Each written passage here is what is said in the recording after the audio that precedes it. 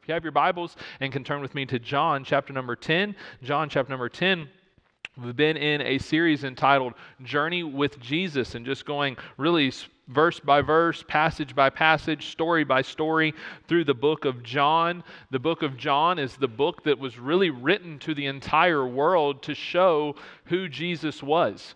And just because we live in a world that has all of these facts and all of this information at our fingertips, it does not necessarily mean that we know who Christ Jesus is. And so the book of John is really the revelation and the, the exposure, the identity of who Jesus is. And so, with that in mind, let's we'll look at John chapter number 10 is where our uh, passage leads us today. If you would please stand with me for the scripture reading today. We'll begin in verse number 22. We went down through verse number 21 last Sunday evening, talking about how that Jesus is our shepherd. We'll pick up in verse number 22 as the story continues, and it says this And it was at Jerusalem, the feast of the dedication, and it was winter.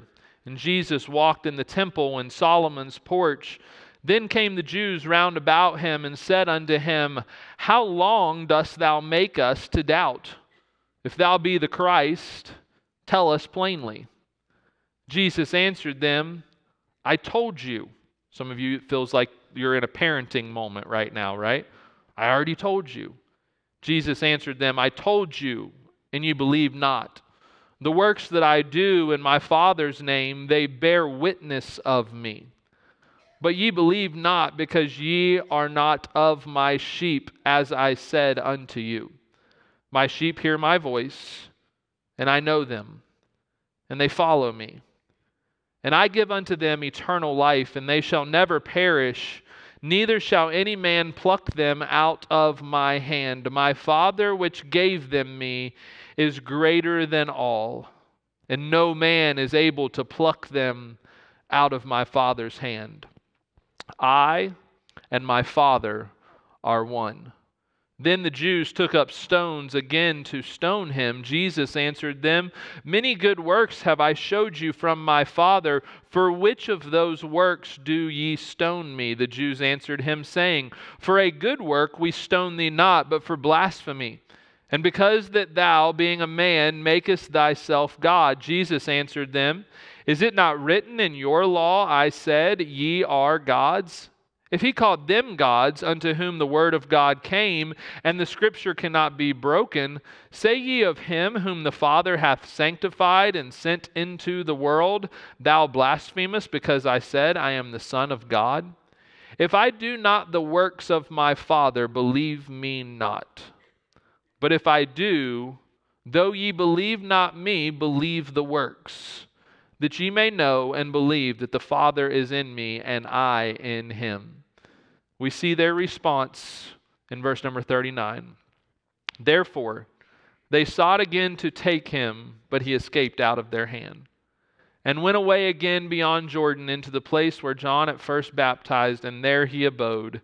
And many resorted unto him and said, John did no miracle, but all things that John spake of this man were true. And many believed on him there. Would you go back and would you look at verse number 24 of John chapter number 10 and we'll read that out loud together. Verse 24 of John 10. Ready, begin. Then came the Jews round about him and said unto him, How long dost thou make us to doubt? If thou be the Christ, tell us plainly. For the next couple of minutes and from this passage, I would like to preach a message to you as we continue in this series, just simply entitled The Identity of Jesus, the identity of Jesus. As has already been sung, one of these days we will see him as they saw him. But we don't have to wait to know Jesus until that moment. As was just sung prior to the message, he's a wonderful, merciful Savior. And let me just encourage you with this this morning, child of God, or maybe you're slipped in among us and you don't know Jesus as your Savior. Jesus wants you to know who he is. And so this morning, I would like for us to look at the identity of Jesus from John chapter number 10. Let's pray and we'll ask the Lord to help us. Dear Heavenly Father, God, we're so grateful that you are a God who does not hide yourself from us. Lord, you desire for us to see you for who you are. And Lord, as we see you for who you are, may we in turn respond with the response of following you in faith. Lord, I ask that you would give me the words to say, empty me of myself, fill me with your spirit, and hide me behind your cross and your word, so that those who listen may see you and not see me. I ask that you would give me the words to say. Lord, I pray that you would bless us as we look at this passage today. May we take it and apply it to our hearts and to our lives. In your name we pray. Amen. Thank you for standing. You may be seated. Some of you will have to go back in your mind a little bit, and you might not recognize the name right off the top of your head, but there was a man who became pretty infamous and associated with a company by the name of Todd Davis. Todd Davis was the CEO of Lifelock, and in 2017, they began running ads that look a little bit like this. And so you might remember this from your web browser popping up that Lifelock would protect your identity. He was so confident in his product, and I've actually blacked it out. I don't feel like that the church needs to be a part of identity stealing, um, but it's blacked out. But actually, the ad had his social security number. Said, My name is Todd Davis. This is my social security number. He was so confident in his product, believing that his identity would never be stolen, that he published his social security number all over the World Wide Web. How many of you think that's probably one of the poorer choices you could make in life? What became very apparent shortly after many of these ads began to show up that by 2018, Wired Magazine uh, commented and wrote an article that Davis's identity had been stolen 13 times, and they followed with this statement that we know of. 13 times Davis was contacted by creditors and saying that he owed for a loan, the loans amounting in almost $7,000 by the time you added them all in, different states, different countries, even different people using his social security number to obtain things that were not his. And, and so, how many of you would say his product probably was not the most successful? To the point that the Federal Trade Commission eventually fined Lifelock $12 million for deceptive advertising, knowing that their $10 monthly service was not doing what it was told that it actually would do. And while the world wants to know who you are to get something out of you, Jesus desires that you know who he is so that you can get something out of him. The world wants to know your social security number, your credit card number, your bank account, your routing number. The world wants to know you and, and what makes you tick and what makes you work and, and how to get something out of you. But Jesus stands before these Jewish people and they said, If you are Jesus Christ, who you say you are, then tell us. And as Jesus begins to describe his identity, he does not describe his identity so that he can get more more out of them. He describes his identity so that they can get the gift out of him. And this morning, I believe that what Jesus would have us to look at from this passage is not something that shows us more of who we are, but something that shows us more of who he is. You see, ultimately, we call this book the Word of God. And while we seek to apply it to our hearts and to our lives, this book is not about Joel Norris in 2024. This book is about our Heavenly Father and Jesus Christ. And so we arrive at this passage, and we are not here to learn more about who we are. We are here to learn more about who He is.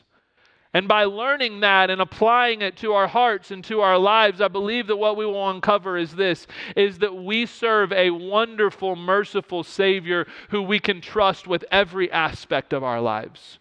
And so I want to give you quickly four characteristics from this passage that show us what Jesus wants to know about him. The first one, I believe, that is very simple but shown in the passage is that Jesus wants you to know him.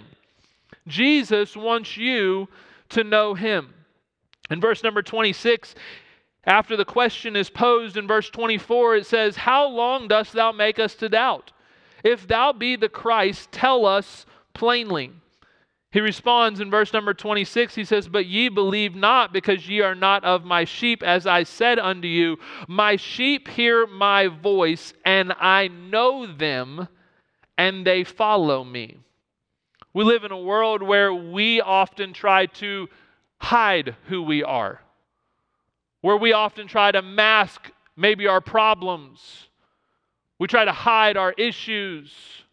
We veil our insecurities. Because the truth is, is if anyone really knew who we were, we would probably sit there and doubt, what are they thinking about me? My wife and I, sometimes when we travel, we, uh, we, we're in church every single time that we go on vacation. My wife is going to be coming out with a book entitled Church Adventures on Vacation because we get put in some pretty difficult situations and uh, some, some awkward ones. And if you're, you're in ministry, you know, every now and then you don't want to be the people who sit around on vacation and shut the lights off. It's just kind of the way that you're made. And um, I was raised to be in church on vacation, but because of that, we get put in some weird spots. And so, being a good Baptist pastor and ministry leader, I don't go into a church and tell them what I do. I try to hide who I am. I try to hide what I do. Several years ago, we were on a 10 year anniversary trip, and it was just my wife and I, and there really weren't that many churches in the area we were in, and so we drove about 25 minutes to slip into a church, and it was pouring down rain. We sat in the car, there was no one in the parking lot. We were really doubting our faith decision at that point. Do we want to do this? Do we want to place ourselves in this position? And so we walk in the doors, and we walk in the doors, and they said, Oh, you guys are guests. And yep, just what we wanted all the fanfare, all the attention. So we walked in, and they said, Well, you're in for a great treat. We actually are not meeting in the auditorium, we're meeting in elective groups, and so you can pick your elective group. The way that I pick my elective group is which one can I blend in the most with and get out the quickest from. So I looked in a couple doors and we ended up in one. And long story short, that was question and answer, and I was not showing off at all and I didn't I didn't raise my hand and answer any of the questions. We just sat in our little seats and listened to the discussion. And afterwards the teacher came up and he said, "Hey, it was good to have you. It was great great to see you and where are you from?" "We're from Tennessee." "We're at in Tennessee, just outside of Nashville." What city just outside of Nashville? Do you know Smyrna? It's not that. Well, what do you do? I work for a nonprofit. What's your name? Joel. What's your last name? Is this what kind of interview is this? Where are we headed with this? So we got in the car, and long story short, we ended up going out to eat with the teacher on our last evening of our 10 year anniversary trip. We got in the car, and Lauren said, I, I understand why you try to hide who you are and, and try to blend in with everybody else and not tell people. But at some point, people start to think you're some sort of weird double agent and hiding what you, who you are. I'm glad you finally just fessed up and said, I'm Joel Norris from Murfreesboro, Tennessee, and I work for Franklin Road Baptist Church. And that's why we ended up out to eat at a fish and chips place. And we laugh about it, but I've had my shoulder cried on. I've had job offers at other churches. I've put my wife in ladies' prayer groups on vacation. We voted on fruit baskets here a couple years ago at a church that we visited. But it's because we try to hide who we are. And here's what I want you to understand is that Jesus wants you to know everything about who he is. These people, they stand before him and they ask him, If you are who you say you are, then just tell us. And Jesus looks at them and he says, The reason why you don't know me is because you're not one of my sheep. But I can promise you this my sheep know me and they follow me. Jesus wants you to see him for who he is, so that when you see him for who he is, you can place your faith and trust and following in him because he's a good God. He's a faithful Savior. He's merciful. He's wonderful. And he says, This is who I am. Now you can trust me. Jesus wants you to know him, but secondly, Jesus also wants you to know his salvation.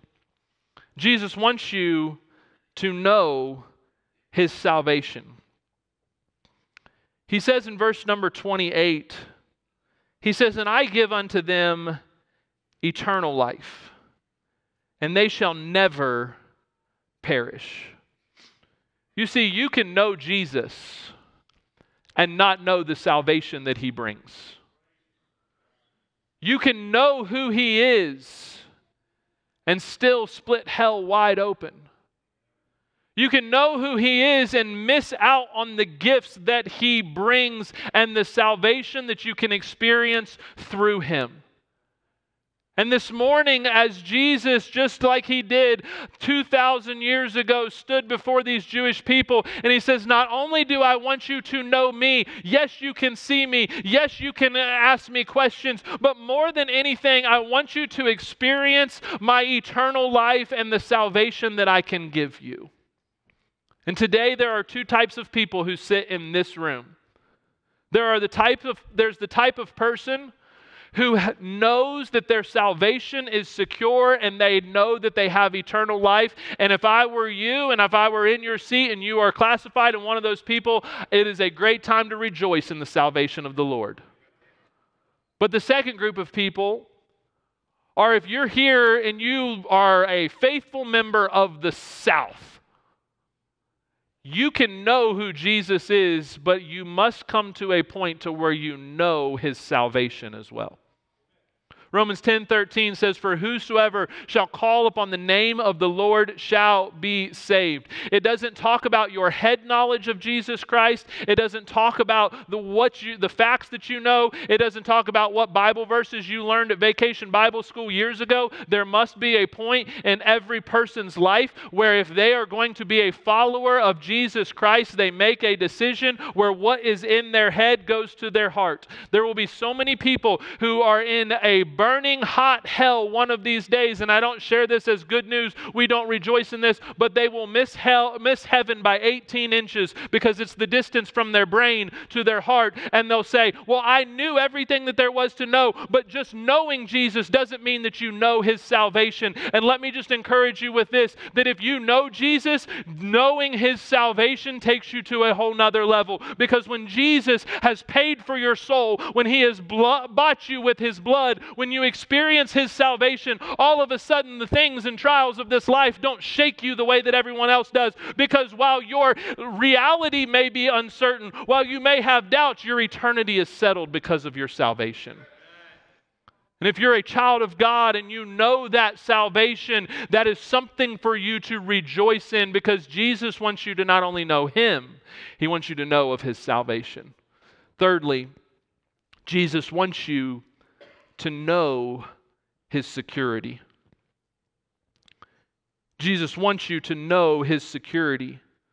At the end of verse number 28, he says this Neither shall any man pluck them out of my hand. My Father, which gave them me, is greater than all. No man is able to pluck them out of my Father's hand. I and my Father are one. How many of you understand that an insecure salvation is not salvation at all? But a secure salvation is truly salvation. So much of our world today promises some sort of security only for us to find out that it is not what it actually is. Just the other day, my wife and I were talking about something that we thought was healthy. Come to find out, they're getting sued because they weren't healthy. Imagine that. And then her comment was at least Mountain Dew is who they say they are. they're not claiming to be healthy because they're not, so we'll just keep drinking it, right? But so much of our world claims that, well, this is what this is going to provide. You take this pill, it's going to change this. You, you do this diet, it's going to do this. And there's so much insecurity about the things of this life. But the salvation of Jesus Christ is not just a blessed salvation, it is a secure salvation. Jesus gives us this illustration, and, and I, I, go through this with every person that I get the opportunity to lead to the Lord. Is I take them to this passage, and you go to verse number 28, and he talks about how that we are placed in his hand. But then in verse number 29, he says, My Father, which gave them to me, is greater than all, and no man is able to pluck them out of my Father's hand. And so you almost get this, this grasp of something to where we are in the hand and the Spirit of Jesus Christ, and, and we also have the Heavenly Father, and those two mighty hands together are what holds our salvation. And if you're here today and you've accepted Jesus Christ as your Savior, that's not something for you to be insecure in, it's something for you to be secure secure in your salvation because it's not in your hands, it's in the hands of the Father. If your salvation was based upon you, it is very insecure. But if your salvation is based off of the mighty hand of your heavenly Father, then it is in good hands. And so Jesus wants us to know his security, but then fourthly, Jesus wants you to know his Father. Jesus wants you to know his father. Several years ago, there was a study that was done on the millennial generation and the influx of references in scripture and in songs and in preaching about Jesus Christ. What had begun to happen and what had begun to transition in the church, capital C, was that churches stopped saying so much about God and more about Jesus. And so they had referenced pastors and ministry leaders and younger generation asking them why they thought that that was so. And one of the findings was simply this. I don't know that this is untheological, I just think it's very interesting. Is that the younger generation believes that because Jesus walked this earth and we have stories of him, that he is able to understand more. They see him as being a representation of God in this world. The Bible teaches us that Jesus faced temptation, he faced trials, he faced difficulties, just like you and I do today. And so, because of that, churches and preaching and, and, and, some of what we do, we highlight Jesus because he has been in our shoes. But Jesus did not come just so that you would know him, he also came so that you would know the Father.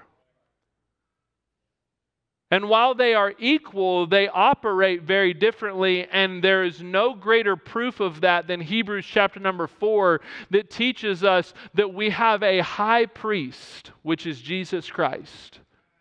And because of that high priest, we have access to the Father, which means this the Bible that sits in your lap that gives us stories of an Old Testament God, our Jesus gives us access to that Old Testament God. Our New Testament Savior gives us access to the work and power of that Old Testament God who walked with Israel, who showed them every step of the way. And Jesus did not come just so that you would know Him, He came so that you could come boldly before the throne of grace through His blood. I have a key to my house. I was just at my parents' house yesterday. I have a key on my key ring to my parents' house. Why? Because I know my Father. And here's what I want you to understand. While they would maybe not welcome this, anyone who knows me has access to the home and resources of my Father. Why? Because I have access to it. There would be a lot of you that you would not walk up to your pastor and my dad and say, Hey, preacher, could I borrow your weed eater this weekend? But you might come up to me, and if you know me pretty well, or I've got some, some guys in our young adults class that, hey, uh, uh my weed eater's down. You think you got one that I could borrow? Yeah, I got a key. Let me go get it. Let me give it to you, okay? Don't come with me because they wouldn't want you to see the garage, right? But they have access to His resources because they know me. And please listen to this. If you are a child of God and you know Jesus as your Savior, you have access to His Father who owns a cattle on a thousand hills. Jesus does not just want you to know Him, He desires that you know the Father. And lastly, I want to give you one more that I believe shows up in this passage and will be applicable to each and every one of us is that Jesus wants you to know his works. Jesus wants you to know his works. I want you to look at verse number 25. Right on the tail end of them asking this question, Jesus answered them, I told you, and you believe not. The works that I do in my Father's name, they bear witness of me. Look at verse number 32. Jesus answered them, Many good works have I showed you from my Father. For which of those works do ye stone me? Look at verse number 37. If I do not the works of my Father, believe me not. But if I do, though ye believe not me, believe the works, that ye may know and believe that the Father is in me, and I in him. I don't believe that Jesus would be the Savior that we think that He is if He did no work. I want you to think about the Gospels that lay in the front of your New Testament, four of them. The truth is that God could have sent his son, Jesus, and he could have said, Jesus, I need a sacrifice for sin. I need someone who is perfect and blameless and holy. I need a lamb. And Jesus could have come to this earth, could have been born just as miraculously as everything else, and he could have died on a cross and done no miracles and no works. And his salvation and his sacrifice would have been just as relevant. You do realize that God could have done that. God could have sent his son, said, just die on the cross, raise from the grave, get back to heaven, we'll figure the rest out.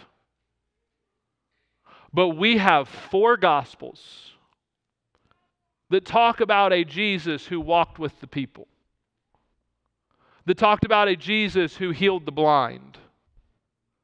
We have a Jesus who, in the chapter that we'll study this evening, who raised the dead. We have a Jesus who, according to John 11 35, wept at the graveside of a friend.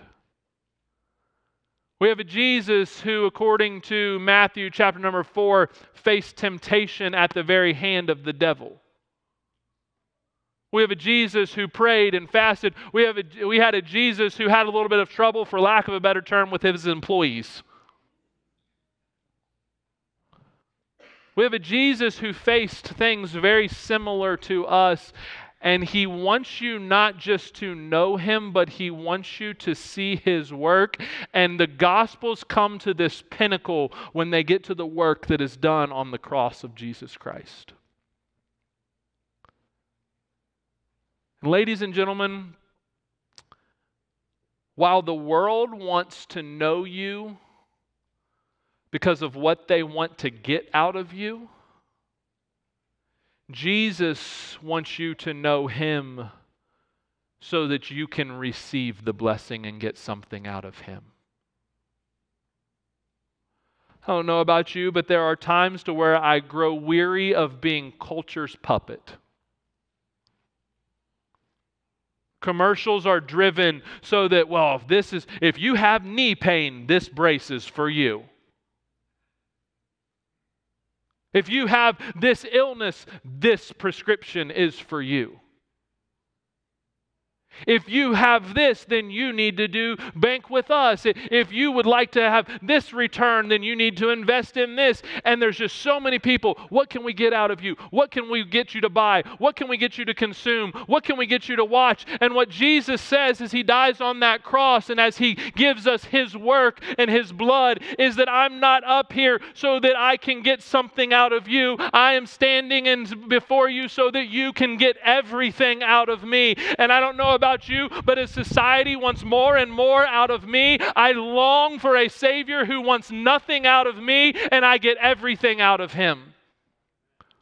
He is a good God. He is a great Savior. And He does not stand before you and desire for you to know Him so that He can get something out of you. He desires for you to know His works and who He is and His identity so that you receive the blessing. And that is a Savior that is worthy of our following.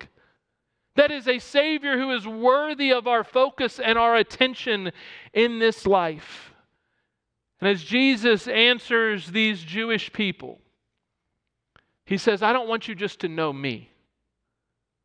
I don't want you to even just know my salvation, the security, and my Father. But he goes so far to say this I want you to know my works. I want you to know what I would do for you. And I don't know the position that anyone is here I don't know where you find yourself. I don't know what you're facing. I don't know what questions you have. I don't know where you're at in your season of life, but here's what I do know is that you have a Savior who wants to work in that moment. You have a God who wants you to know who He is through His Son, Jesus Christ.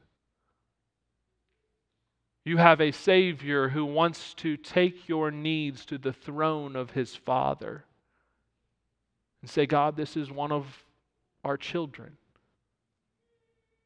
Look at the need that they're facing. He wants you to know of the security that you have in Him. While everything else is insecure, Jesus and His salvation is perfectly secure. But He wants you as his child to know his works and experience them for yourself. There's three responses at the close of this chapter. The Bible tells us in verse number 39 that some of them sought to catch Jesus and he escaped from them. He goes away in verse number 40. It says, And many resorted unto him. So they get near. Like, I need to learn a little bit more, but verse number 42 says, and many believed on him there. Can I just encourage you that while this world seeks to know who you are, to get more, I firmly believe that it is time for us as Christians to start learning more about who He is. I firmly believe that it's time that we stop becoming consumed with our identity and become consumed with His identity. That we stop worrying about what we look like in the image of the public eye and start worrying about what Jesus looks like in my life. And here's my prayer for our church and our church family and for you and your family is that as you learn more of who Jesus is in your heart and in your life, that you won't just know his salvation, that you won't just know his security, but you will know his works. I think there's some people in Scripture and in the Gospels that they came back and they knew nothing else about Jesus other than the fact that he healed their loved one. They knew nothing else about who Jesus was, but their belief skyrocketed in him because they said, This is what he did for me. And here's where we have arrived at as Christians in 2024 is that we know more about what a doctor or a financial advisor can do for our lives than what Jesus can do for our lives. We rejoice more in our 401ks than we do the blessings and providence of our Heavenly Father. We rejoice more in what the world has given us than what Jesus Christ has given us in Him. And it's time for us as Christians and children of God to say, I don't just want to know Him. I want to know what He does, and I want to experience it for myself. I want to be able to sit down with my family and with my children at the dinner table and say, Let me tell you what God did for us today. I want to be able to sit down with other church members and, and co workers and say, Let me tell you about what Jesus did for me this week. We talk too much about our work and not enough about the glorious work of Jesus Christ that He di- desires for each and every one of us to know.